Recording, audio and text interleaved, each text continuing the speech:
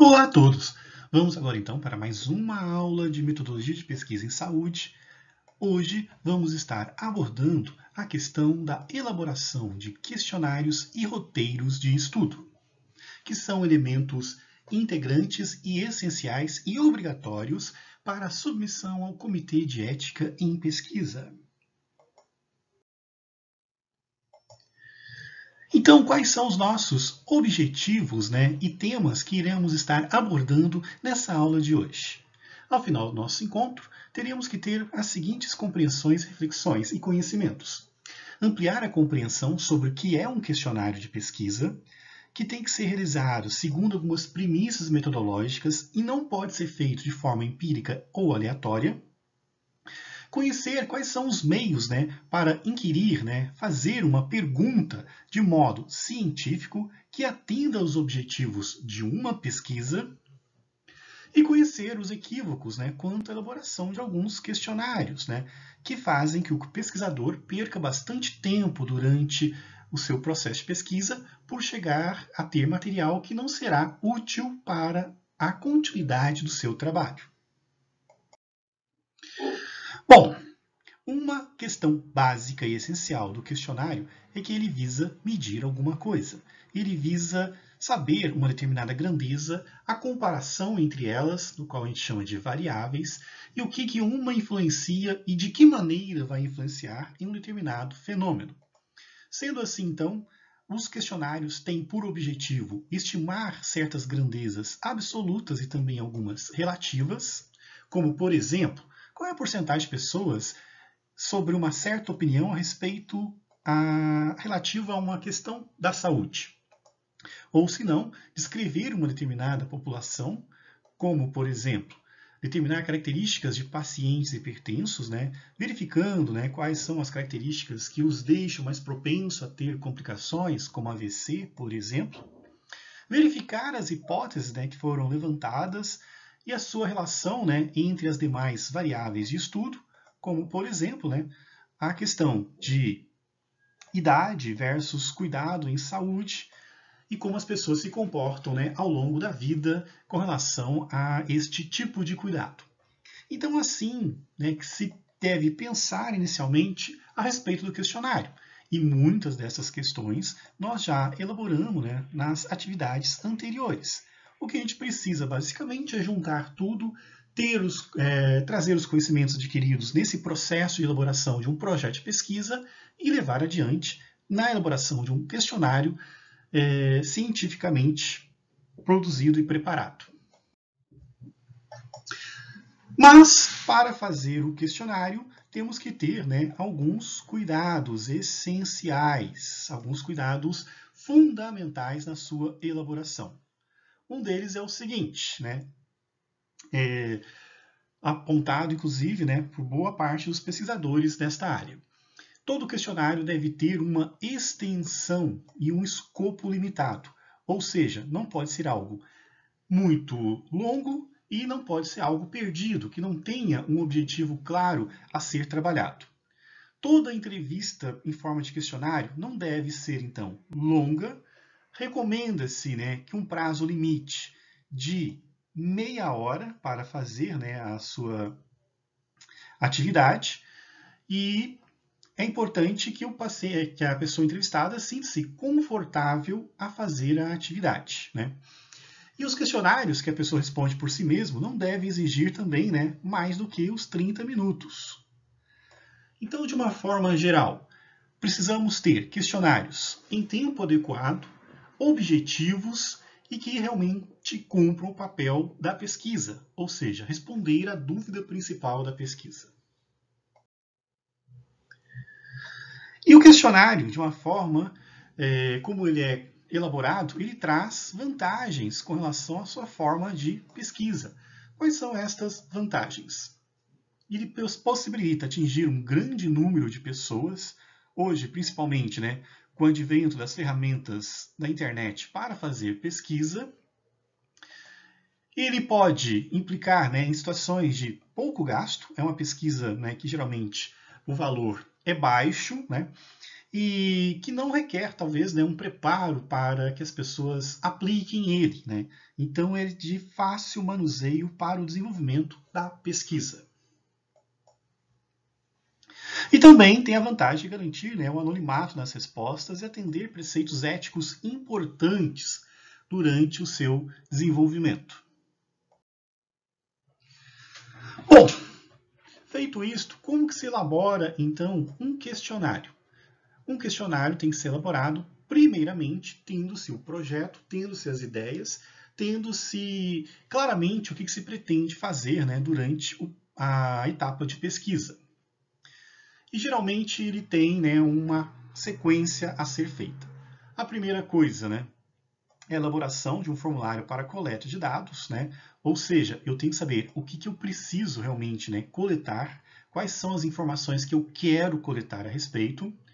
Depois disso, né, eu tenho que verificar que dessas coletas de dados, desses itens que eu pretendo coletar, se todos os objetivos da pesquisa são contemplados, porque eu não posso deixar nenhum objetivo fora da minha pesquisa via questionário, e este é um erro bastante comum que acontece.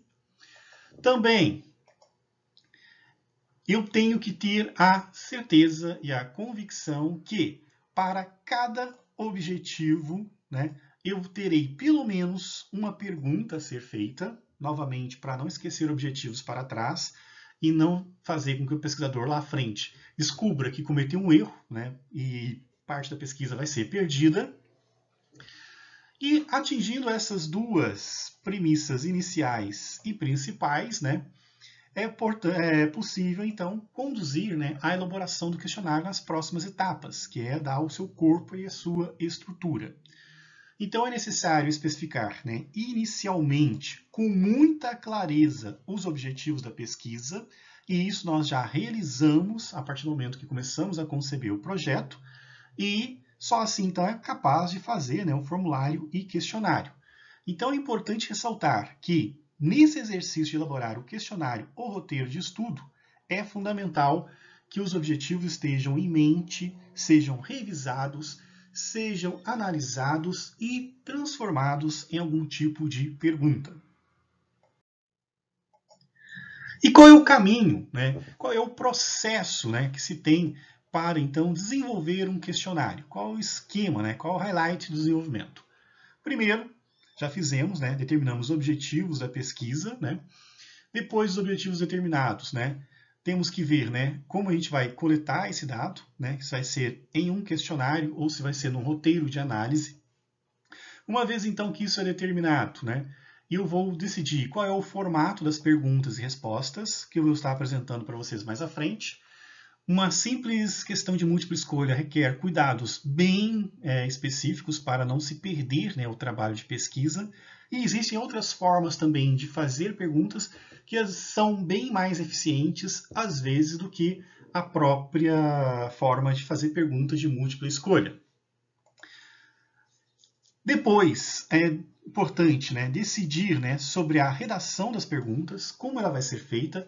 Isso também exige alguns cuidados essenciais, porque eu não posso ter ambiguidade na pergunta, eu não posso fazer perguntas de caráter negativo que levem a interpretações equivocadas e nem perguntas que sejam difíceis de responder, não em termos de conteúdo ou de complexidade teórica, mas perguntas mal formuladas que a pessoa tenha dificuldade de respondê-la. Uma vez então que eu fiz a redação das perguntas, eu tenho que estabelecer fluxo, né? se esse fluxo está de acordo. Né? Então eu preciso ter né, o início, meio e fim das perguntas, de forma a que a pessoa perceba né, um sequencial lógico durante a elaboração da pergunta. Né? Então, eu não posso ter perguntas de um determinado assunto, passar por outro de repente para outro, depois voltar naquele assunto. Eu preciso ter uma sequência. Né? E tem também ter também uma forma de um layout atrativo, com letras né, que sejam capazes né, de da pessoa enxergar sem ter dificuldade, entre outras questões né, referentes a layout. Então, eu preciso ter um fluxo de blocos de assuntos em sequência. Não posso ter perguntas feitas aleatoriamente e tem que ter um layout adequado, né? de forma que a pessoa consiga marcar adequadamente a resposta, consiga ler a resposta, consiga, se for o caso, escrever a resposta. Né? Isso se o questionário for impresso. Né? Caso ele seja né, eletrônico, também tem outras recomendações que as próprias plataformas é, repassam para os usuários. Depois disso, né, é necessário, então, avaliar com o grupo de pesquisa né, o layout está adequado, né, se está tudo dentro do esperado. Uma vez que isso, então, é feito, né, é necessário ter a aprovação de todos os envolvidos na pesquisa. E uma vez que está tudo aprovado, é fundamental o pré-teste, o teste piloto do questionário, do qual se aplica em um grupo menor e verifica né, a aplicabilidade, se tem algum erro, se houve alguma questão mal formulada, erros de português, N situações. Pessoal, é essencial esse pré-teste, tá? E ele ajuda a gente a identificar erros que, se acontecer, acontecerem na pesquisa de fato, será bastante né, complexo né, de recuperar a pesquisa e mantê-la né, dentro daquilo que se era esperado. Uma vez, então, que foi feito então o teste piloto, né? Temos que preparar as correções, né, que porventura apareçam, né, durante a fase piloto, fazer a redação final, o ajuste final e assim então fazer a pesquisa, né? Ir realmente a campo para fazer a pesquisa devidamente. Então esses são, né, os 10 passos para o desenvolvimento, né, de um questionário adequado. E segue algumas recomendações para a redação das perguntas, né? que é a fase crítica, né? Perguntas claras e bem elaboradas, projeto de pesquisa funcionando adequadamente. Perguntas mal formuladas, as coisas acabam né, não andando adequadamente. Então, o que, que nós temos? Né? Nós temos, então, a questão né, de não incluir né, uma pergunta sem ter ideia clara né, de como eu vou utilizá-la, para que, que ela serve no meu questionário. Então, toda pergunta tem uma função, uma medida, cumpre um objetivo e está relacionado a alguma hipótese. Segundo, tem que usar um vocabulário preciso, evitar palavras confusas, difícil entendimento, termos técnicos que não sejam né, de conhecimento da população a ser entrevistada. Evitar duas perguntas em uma, isso é um erro grave que acontece, porque quando eu faço duas perguntas, a pessoa que está sendo entrevistada né, o que vai responder o questionário, pode concordar em partes e discordar do todo. Então, isso gera né, um viés na pesquisa que não é interessante. E também, depois, saber como é que eu vou medir aquela pergunta. Ter noção, pelo menos, de um gráfico que tem a ver com aquela pergunta ser feita. Essas são algumas recomendações essenciais para o desenvolvimento né, de um questionário. Só para exemplificar agora alguns erros. Né? Um erro bastante comum duas perguntas em uma. Né? O que, que nós temos aqui nesta pergunta? Né? Uma pergunta feita né, a um entrevistado. Você está de acordo ou desacordo com a seguinte afirmação? Os alunos superdotados deveriam ser colocados em grupos separados dos outros e em escolas especiais. Geralmente, quando a gente usa o e, a gente está fazendo duas perguntas em uma. E aqui o problema seria qual? A pessoa pode concordar que os superdotados fiquem né, num grupo especial à parte para o seu aproveitamento, seja qual for o motivo, né? Então isso pode ser aceito, mas a pessoa não concorda que ela fique em escolas diferentes. O grupo pode ser na mesma escola, né? Grupos separados na mesma escola. Já as pessoas acham que tem que ter escolas especiais e deixar todos os alunos né, superdotados juntos convivendo. Então, esse é um tipo de pergunta né, que complica, né, que a pessoa não consegue expressar realmente o que, que ela pretende.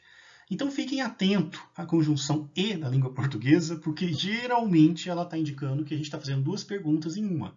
E as pessoas podem ter opiniões diferentes para cada pergunta. Né?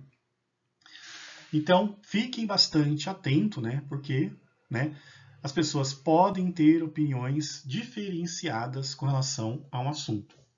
Então, por isso, né, façam perguntas mais simples, curtas e diretas. Mais recomendações para a redação da pergunta. Bom, as perguntas devem se ajustar-se à possibilidade de resposta que as pessoas né, irão fazer. Não devem ser concebidas perguntas difíceis de serem respondidas de forma precisa. Novamente eu falo aqui, o difícil não é uma questão teórica. Né? O difícil é eu não saber responder por pela pergunta ser mal formulada. Né? Exemplo, né? em que idade você teve sarampo? Eu não me recordo. Já tive sarampo, mas não sei se foi com 9, 10, 11, 8 anos. E seria uma resposta imprecisa, dependendo né, do objetivo da pesquisa. Né? Então, tenho que criar estratégias né, para facilitar a resposta né, e verificar até mesmo qual a validade dessa resposta. Né? Então, é possível que o entrevistado não se lembre né, qual idade teve. Uma alternativa é colocar faixas etárias. Né? Você teve sarampo entre 5 e 10 anos, 10 a 15 anos, talvez a pessoa sinta-se mais à vontade para responder. Do jeito que a pergunta foi formulada aqui, né, é uma pergunta que muitas vezes as pessoas acabam chutando, as pessoas acabam pulando essa pergunta, né? E se é no início do questionário, às vezes a pessoa começa a ficar desmotivada realmente a responder, né? Então fiquem atentos né, a essa outra dica. Né? Façam perguntas mais precisas, né, que sejam fáceis de responder e se coloquem no lugar do outro. Né? Então, certos eventos né, temporais, principalmente, são realmente difíceis de ser lembrados. Mais uma recomendação para as perguntas que vocês é, vierem a fazer. Geralmente, né, devemos fazer perguntas em itens curtos. O entrevistado deve ler a pergunta sem dificuldade, não pode ter dificuldade.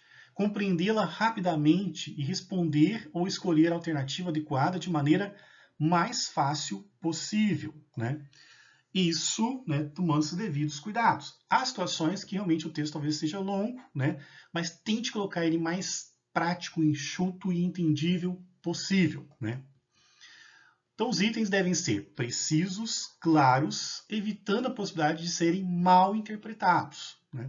Porque, às vezes, texto muito longo, desconexo e mal formulado leva a pessoa a entender errado. Né? Exemplo. Né?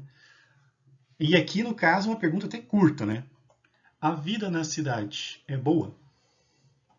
Bom, por que, que essa pergunta, né, mesmo sendo curta, né, ela apresenta um certo grau de dificuldade. E se ela se estendesse mais, daria mais dificuldade ainda para entender.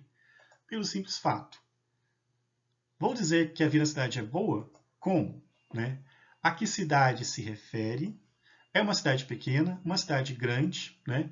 a cidade que eu moro, outra cidade, porque isso gera viés. Porque quem mora em cidade pequena talvez né, tenha algum conceito sobre o que é bom e ruim na cidade. Quem mora na cidade grande né, questão de engarrafamento, violência, entre outros, pode influenciar na sua resposta. Então, é um tipo né, de resposta né, onde a pessoa teria dificuldade. E repito, se eu faço perguntas mais longas ainda, né, o nível de dificuldade aumenta. Então, eu tenho que ser mais preciso e, às vezes, fazer várias perguntas para chegar a uma resposta que eu pretendo. Então, muita atenção à possibilidade de perguntas que podem ser mal interpretadas, sejam elas curtas ou longas. Mais uma recomendação, né? Seguinte, evite perguntas negativas, né? A questão do não, não. Eu não, não gosto é a mesma coisa que eu gosto. Então, perguntas são mal formuladas nesse sentido. Tipo, é partidário de não controlar a natalidade? É, seria a mesma coisa de eu ser favorável a, ao controle da natalidade? Ou seria favorável a uma outra questão? Então, tenham cuidado, muito cuidado, quando forem usar a palavra não durante um questionário. Porque, como eu falei para vocês, o não, não é igual a sim. Né? Então, tenham realmente né, uma atenção especial com relação Outra recomendação importante, né, com relação à redação das perguntas. O pesquisador deve ter o cuidado com a interpretação que faz das respostas dos inquiridos, né, dos entrevistados. Eu posso fazer uma pergunta, achar que a resposta vai dizer certa coisa e, na verdade, não.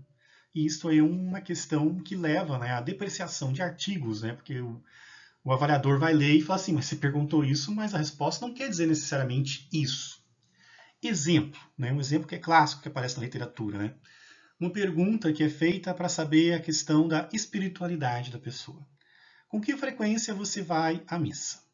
Aí teria algumas opções. Não vou uma ou duas vezes por mês, três a quatro vezes por mês, mais de quatro vezes por mês. Daí, né, a questão é a seguinte: uma pessoa que não vai à missa né, nessa regularidade, eu poderia dizer que é uma pessoa né, não espiritualizada? Que não acredita em Deus, eu não posso fazer essa afirmação, porque ela pode ir em outro evento religioso. Né? Então, esse erro também é bastante comum, de eu fazer uma pergunta pautada em uma condição e acreditar que a resposta pode ser é, ampliada, né? pode ser é, levada a um conjunto como um todo. A pessoa pode ir né, em um culto religioso, que não recebe o nome de missa. A pessoa pode ir em outros eventos espiritualiza é, espiritualizantes também. A pessoa pode não frequentar e acreditar em Deus, né, em um culto, em um né, evento religioso. Então, são perguntas realmente que né, depreciam um pouco o trabalho e o entendimento. Então, evitem esse tipo de usar né, um, uma compreensão que eu tenho e querer generalizá-la para todos. Né? Pergunta mais correta seria, né? Com que frequência você vai a algum evento religioso ou de caráter espiritual? Seria bem melhor, né? Seria mais, é, mais voltado realmente para um objetivo, quero saber se a pessoa é espiritualizada ou não. Né? Então, né, só para reforçar, né, uma ida à missa né, não reflete religiosidade ou crença. Né? Então, acreditar que a pessoa é espiritualizada ou acredita em Deus pelo fato de à missa leva a uma interpretação muito equivocada. Então é preciso ter esse cuidado. Vamos ver agora, então, como deve ficar a disposição das perguntas, né? a ordem que elas devem estar ser apresentadas. Então, a ordem da pergunta né, segue a seguinte questão. Problema de ordem dinâmica. Né? Qualquer coleta né, de dados, escrito, oral, é um processo de interação com pessoas. Portanto, deve-se procurar uma ordem de perguntas que facilite a interação. É o que eu comentei anteriormente. Você tem que ter um sequencial lógico. Né? Você tem que mostrar que existe um caminho que está sendo seguido e o porquê das perguntas na sequência. Perguntas aleatórias levam geralmente a pessoa a desistir do questionário ou as pessoas não responderem de forma fidedigna, né? não cria essa interação. Então, desta forma, não convém passar bruscamente né, de um tema para outro. Né? Então, fiquem atentos a e ainda com relação à disposição das perguntas, né? Então, recomendado, né? Introduzir o questionário com perguntas que não formulam problema, são perguntas quebra-gelo. Eu geralmente gosto de colocar né, uma charge relativa ao tema, uma coisa mais leve para a pessoa ficar mais confortável, né? Porque o questionário em si ele gera desânimo ou gera desconforto. Coloca uma coisa leve, né, para a pessoa responder depois, né, vem as perguntas né, sociodemográficas, como idade, sexo, estado civil, né, conhecer a pessoa. Na sequência, né, incluir perguntas sobre a problemática, mas em termos gerais, né, não vai direto ao problema da pesquisa, né, introduz a pessoa ao assunto, né, para ela saber que se trata daquilo e mais para frente já seja mais decisivo, né, a pessoa já fica mais preparada para responder o problema da pesquisa, né. É, Exemplo, né? esse questionário né, se refere a fatores que intervêm no controle de uma doença, né, inclua perguntas de opinião sobre a doença. Não fala do controle propriamente dito. Né? Doença, tratamentos. Né? É uma introdução. A pessoa precisa ser introduzida ao assunto. Depois, né, passo seguinte, né, é, incluir perguntas que formam o núcleo do questionário, as mais complexas né, e talvez emocionais também. Tem perguntas que se mexem né, com o emocional da pessoa, dependendo da pesquisa. Mas são perguntas mais pontuais, voltadas realmente para o problema da pesquisa, né? uma vez que a pessoa já sabe o tema, já emitiu até opinião sobre o tema. E na última parte, perguntas mais fáceis. A gente termina leve, começa leve termina leve, né? Então, geralmente, é perguntas né, mais motivacionais, né? Perguntas para fazer um, um, final, um desfecho final, né? Perguntas reflexivas, né? Que algumas até nem tem muito a ver com a pesquisa propriamente dita, mas é para dar um clima melhor na hora de encerrar a pesquisa. Então, esta é a regra geral da disposição das perguntas, né? E fiquem atentos na hora de fazer né, o questionário de vocês. E aí, uma regra de ouro para a disposição das perguntas é a seguinte, né? Como acontece numa conversa, num diálogo, né? Primeiro produz uma aproximação gradual do tema, depois o tema central, e quando tiver discutido suficientemente, não termine de imediato, né? Finda-se com uma conversa genérica antes de despedir. Então, só para pensar nessa estrutura né, e fazer um questionário realmente eficiente. E na sequência das perguntas tem a forma de fazer as perguntas. Né? Então as perguntas são perguntas iniciais, né, abrangentes e genéricas, né, que têm a função de fazer o quebra-gelo, né, criar empatia com a pessoa que está respondendo.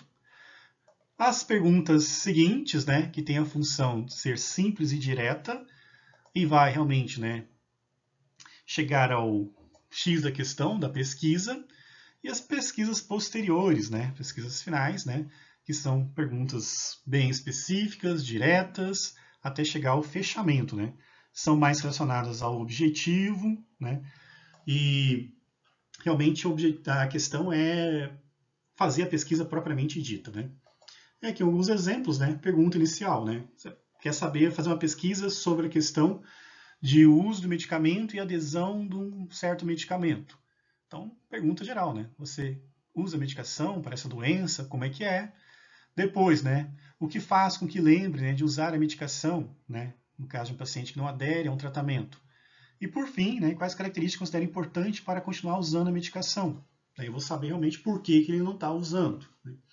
Então aqui são alguns exemplos né, de uma organização né, do questionário. Daí, né, da organização típica ainda, né, a parte principal né, que concerne ao questionário, né, perguntas específicas, né, para obter né, da maioria das informações, né, então já pode ir direto, né, sentiu algum efeito que o fez parar de usar, então posso né, verificar, talvez a minha hipótese, que as pessoas não aderem ao tratamento por causa dos efeitos adversos do medicamento. E né, o encerramento, como eu falei para vocês, né, forma leve e tranquila, né, é, algumas informações, talvez, né? Alguns podem usar as informações de identificação no final, isso não é um problema, né? Mas, além dessas perguntas, fazer perguntas leves, motivacionais, né? reflexivas, para a pessoa se sentir confortável no final. E como que eu devo fazer as perguntas? Né? Muita gente se prende à questão da múltipla escolha, né? nem sempre é a melhor alternativa. Então, o que, que nós temos? Né? Nós temos as perguntas fechadas, né, que são aquelas que não dá a oportunidade da pessoa colocar a opinião livremente, é um conjunto né, de opções para ela se expor, e as perguntas abertas que ela escreve né, livremente. Né. Então, temos essas duas categorias e temos também né, um misto, as semi-abertas ou semi-fechadas, que você tem alternativa, mas pode perguntar, tá, dentro das alternativas, é, emita uma opinião cabe, né, dentro do objetivo, hipótese e tema, né, o pesquisador definir qual que seria a mais interessante a ser feita. E as perguntas podem ser feitas né, da seguinte maneira também. Nós temos as dicotômicas, que apresentam duas opções. Né? Então, a questão do gênero, por exemplo, né? a questão né, de preferência, né, se gosta ou não do serviço, né, pode ser sim ou não e as de múltipla escolha, né, que é a mais comum que é feita, né, onde então você faz várias perguntas, como aqui no exemplo, né, o que levaria você a parar de usar a medicação? Né, na pesquisa ainda referente sobre adesão ao tratamento.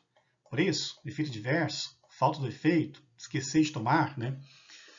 Então essas são algumas né, orientações básicas, né? Muitos já devem ter feito algum questionário, né? E sabem como que se procede nesse ponto, mas alguns Além das formas clássicas que eu apresentei para vocês, de formas de pergunta, né, que vão das abertas e fechadas, múltipla escolha e tal, temos também outras estratégias que são bem interessantes, que eu gostaria de compartilhar com vocês e que vocês procurasse usar né, nos questionários de vocês.